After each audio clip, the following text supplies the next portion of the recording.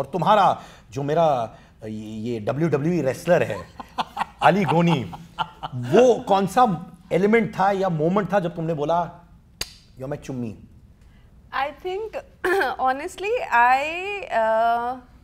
fell in love with him long time back, but obviously आप अपने emotions, अपने feelings किसी पे ज़बरदस्ती impose नहीं करना चाहते हो. So we stayed friends for very long.